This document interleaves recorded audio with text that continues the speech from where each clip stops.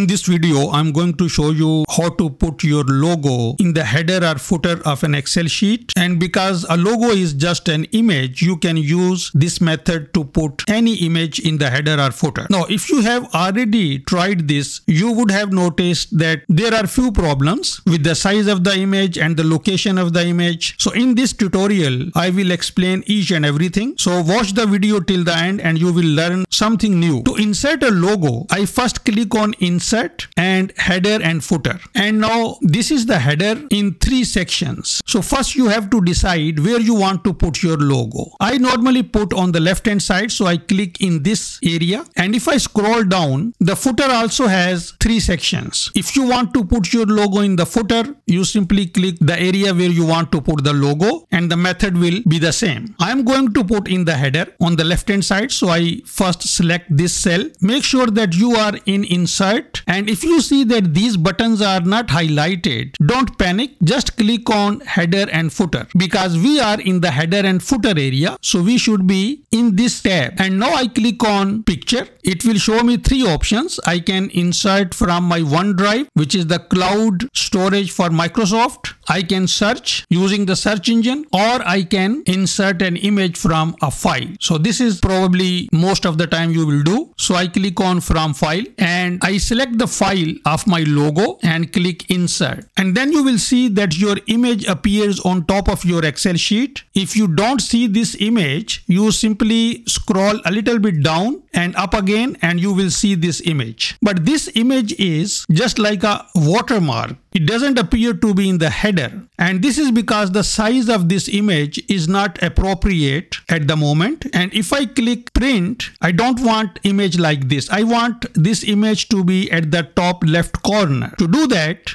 you again go back to insert and header and footer and format picture button should be highlighted. If this is not highlighted, it means that you are in the wrong cell. If I go second or third cell, this button is not highlighted. And it is important that format picture button should be highlighted. Otherwise, you won't be able to resize your image. So if you don't see this button, just change the same cell where you inserted the picture and you will see this and picture written in that cell. This is not written in any other cell. So when you click on this cell, this button will be highlighted and now I click on this button and normally in the height area, if you select one centimeter, and click OK, you will see your header in the appropriate size. If you want a little bit bigger size, you can click on that and make this to 2 centimeter. But as you can see that 2 centimeter is going behind my header. So normally I always keep this on 1 centimeter and now if I print this it will appear on the top left corner. I can print this Excel sheet as a PDF or I can print this as a physical sheet and a small beautiful logo will appear on the top left corner. For more tutorial videos please hit the subscribe button. Thanks for watching.